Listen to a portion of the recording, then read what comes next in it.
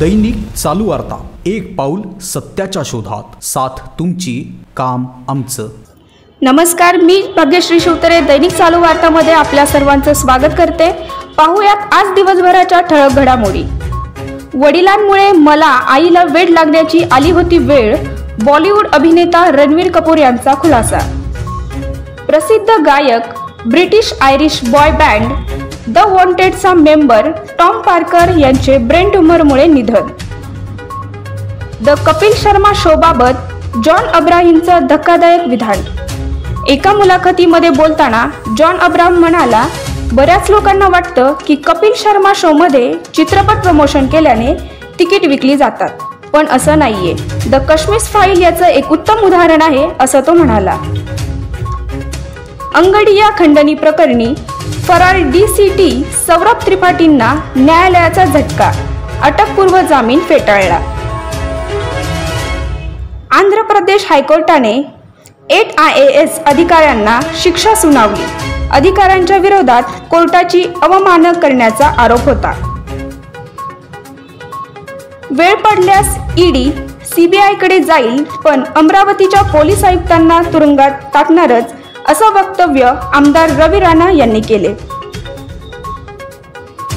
बिहारचे मुख्यमंत्री नितीश कुमार यांनी राज्यसभेत जाण्याची इच्छा व्यक्त केली त्यामुळे बिहारमध्ये भाजपचा मुख्यमंत्री होणार याची जोरदार चर्चा राजकीय वर्तुळात रंगली आहे. एस टी कर्मचाऱ्यांचा संप सुरू आहे.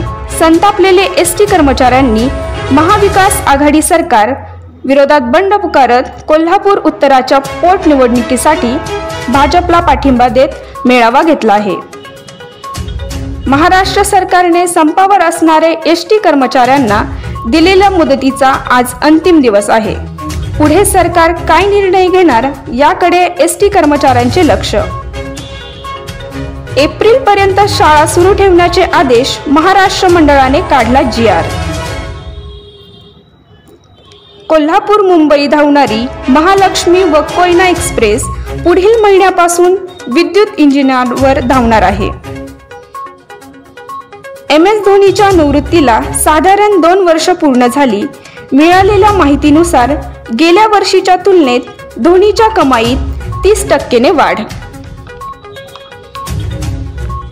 भाजपचे प्रदे अध्यक्ष आमदार चंद्रकांत पाटील आज वारकरी बांधवांसोबत टाळ मृदुंगाच्या तालावर विठुरायाच्या स्मरणात तल्लीन झाले.